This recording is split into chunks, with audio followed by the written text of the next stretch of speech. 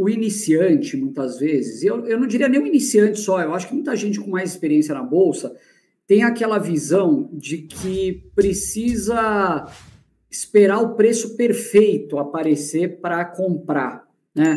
A pessoa quer aquele ponto de inflexão lá no fundo do poço e vai comprar exatamente naquele ponto e depois ver subindo. Primeiro lugar, eu acho que quem tenta fazer isso constantemente erra. Dificilmente a pessoa vai acertar o ponto de mínima. Eu não acerto, você não acerta, o Barsi não acerta, ninguém acerta. O que a gente gosta de fazer é estabelecer um patamar ali e abaixo desse patamar a gente começa a comprar e se o papel vai caindo, vai comprando. Então, você vai aumentando a sua posição em empresas que você gosta, que você conhece, que você tem segurança, que são bem administradas e que têm boa atividade, à medida que o preço for caindo. Agora, é, esperar o preço perfeito não existe.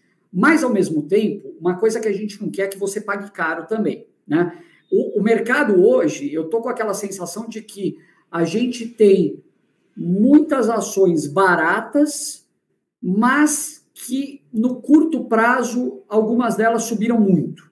Então, talvez eu aguardasse assim para comprar um pouco mais no momento de correção, né? Se viesse uma correção. Agora, se você quer comprar pouco é, e está vendo preços interessantes, não deixa de comprar. Eu acho legal você, até para conhecer, eu gosto muito de estudar o comportamento dos papéis no pregão, sabe? Eu sei que nem todo mundo consegue fazer isso, mas você, quando começa a acompanhar, se você comprar 100 ações de uma empresa, você coloca ela na carteira, magicamente você vai começar a acompanhar aquela empresa com uma maior proximidade, né? Então você vai entender que, por exemplo, as ações dela costumam oscilar ao longo do tempo entre 10 e 12 reais, tal.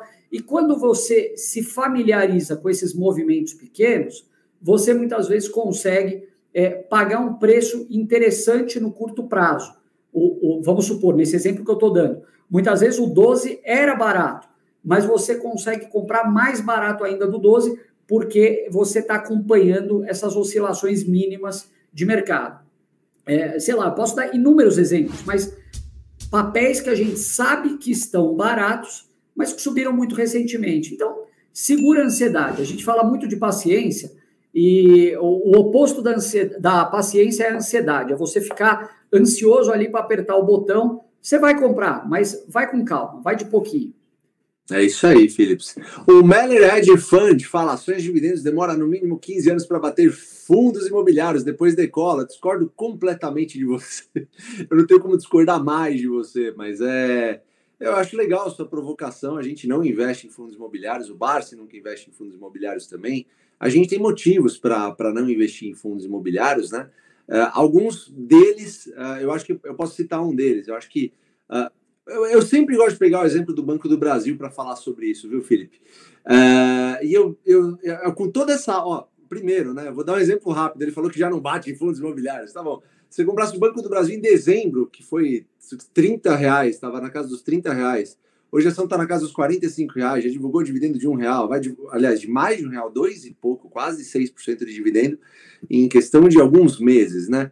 É, e ainda assim está muito abaixo do valor patrimonial, embora não, esteja comprando, mas ainda assim está muito abaixo do valor patrimonial.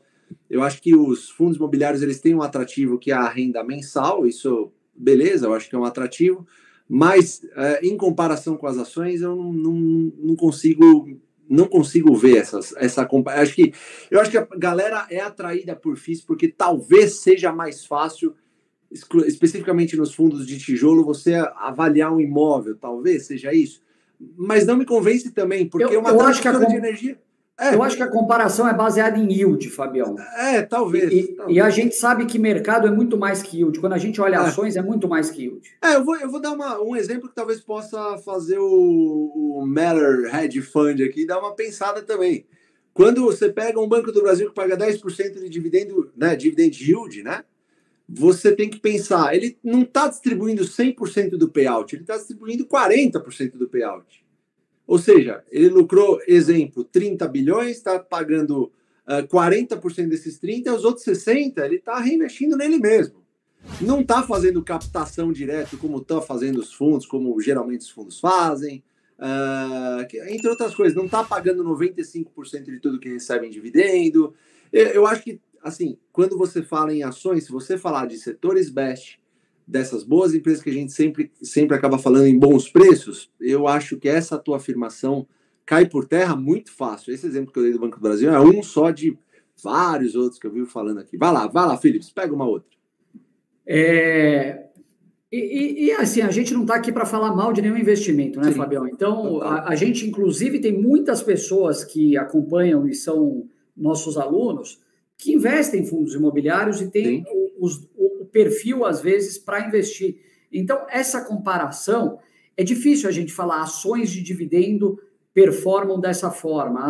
É, o que, que, é o parâmetro para isso? É o IDIV? É, não sei. Então, eu acho muito difícil fazer essa comparação, porque ela sempre vai estar tá com alguns pontos de observações aí falhos, eu acho. A amostra não vai ser representativa, etc. Agora, quando a gente olha empresas com bons projetos e que têm dividendos crescentes ao longo do tempo, é, você ganha das duas formas, com o retorno de dividendos que vai pingar na tua conta e com a valorização possível que muitas vezes supera e muito o yield dessa, desse papel. É, alguém perguntou aqui, eu vou pegar três nomes de ações que perguntaram o que, que a gente acha dessas empresas: Metal Leve, Arezo e Taurus. Pessoal, em primeiro lugar, a gente nunca fala aqui estamos é, comprando ou achamos que essa ação vai subir. Pelo contrário, o que a gente fala aqui é sobre fundamentos, sobre o que, que a gente gosta de olhar e sobre como funciona o nosso processo de análise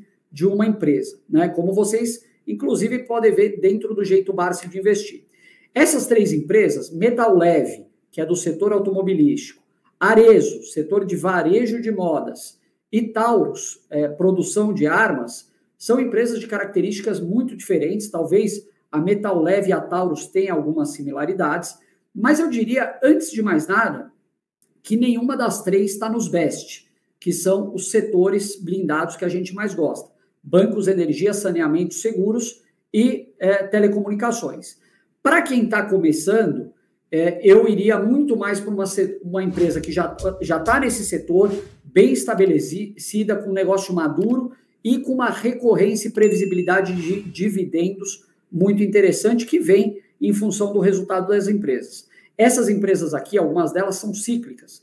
E para quem está começando empresa cíclica, pode ser um problema e não vai garantir o fluxo permanente, previsível. Bom, meus amigos, minhas amigas, vocês viram ali que o Felipe comentou sobre a Mali, né? Mali Metais. E vocês vão ver aqui no ranking do AGF+, que ela está muito bem colocada, olha só.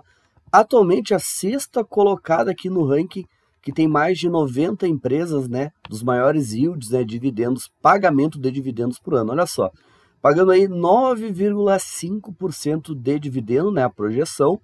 O preço teto, o preço máximo que você pode pagar nessa ação é 65,83, o que na cotação atual nos dá uma margem de segurança bem interessante de quase 60%.